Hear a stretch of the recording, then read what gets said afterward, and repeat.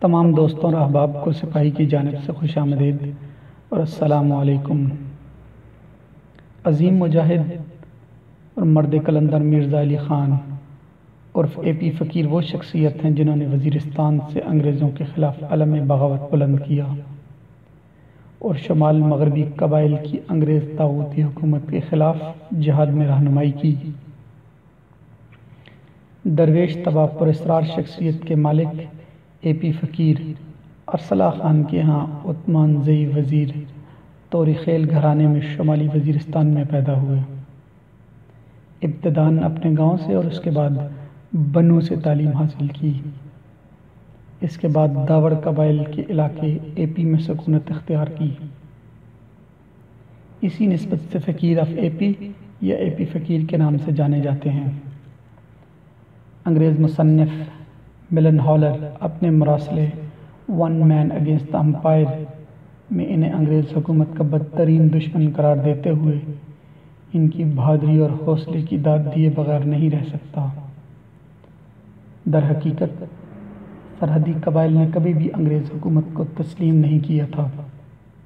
لیکن اسلام be be کے واقعے نے علاقے میں مسلمانوں کی غیرت دینی کو جھنجھوڑ کے رکھ دیا۔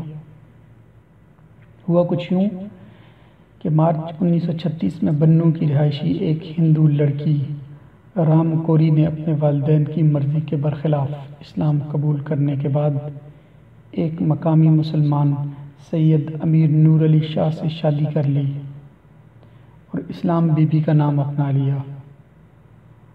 ہندوؤں نے اسے اپنی انا اور عزت کا مسئلہ بنا لیا اور انگریزوں سے ساز باز کر کے دونوں میاں بیوی کو گرفتار کروانے کے بعد پہلے لڑکی کے شوہر کو سزا دلوا کر جیل بھیج دیا اور بعد میں لڑکی کو اس کے خاندان والوں کے حوالے کر دیا، جو اسے لے کر پنجاب کے شہر ہوشیار پور چلے گئے۔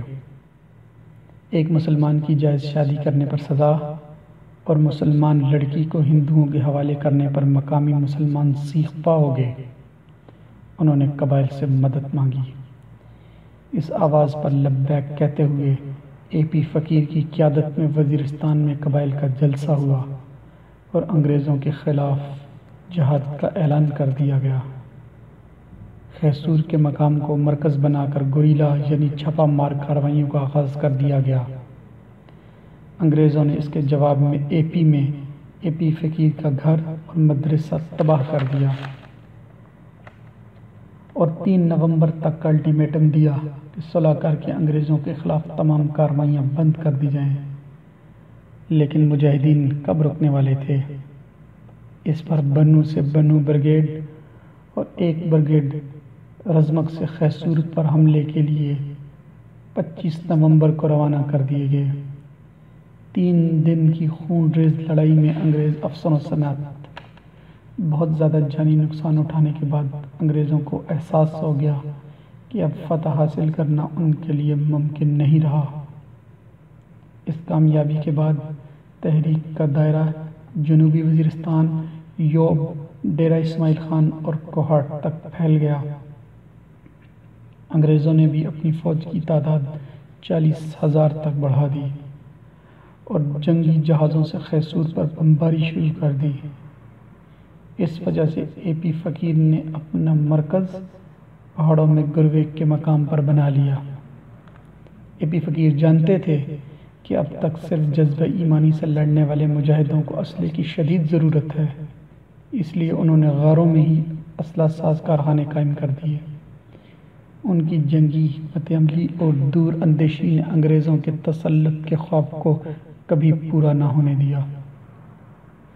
مجاہدین بہت سے مرکوں میں انگریزوں کو شکست دینے میں کامیاب رہے اور فرنگیوں کو ان مردان حر پر فتح کے خواب ادھورے چھوڑ کر انیس سو سینتالیس میں جانا پڑا۔ قیام پاکستان کے بعد مجاہدین نے جنگی کاروائیاں بند کر دی لیکن قبائل کے لیے اے پی فقیر اب بھی نہ صرف ایک مقبول رہنما بلکہ دینی راہبر رہے۔